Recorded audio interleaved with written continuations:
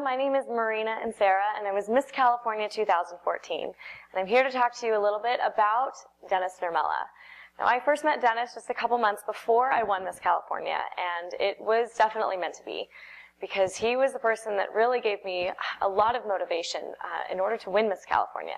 One of the greatest ways that Denis helped me was to prepare for my personal interview.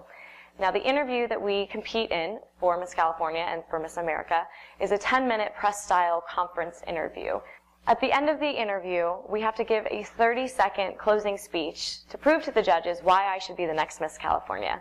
Now, Denis really helped me prepare for this 30 second closing speech using tools in communications and nonverbal communications so that I could really convey my mes- message to the judges.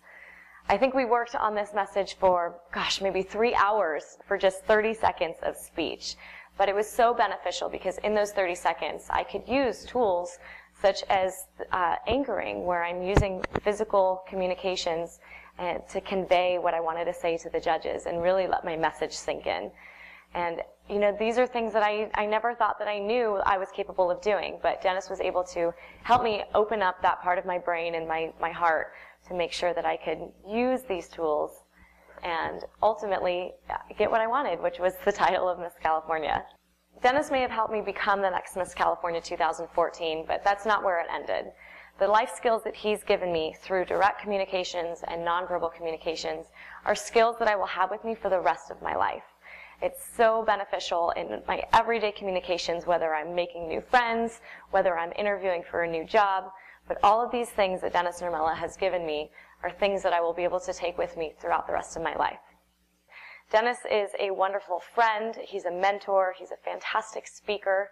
And he's just an all around good person that you need to have in your life. So if you're looking for a speaker, for a mentor, or a coach, look to Denis Nurmela for help.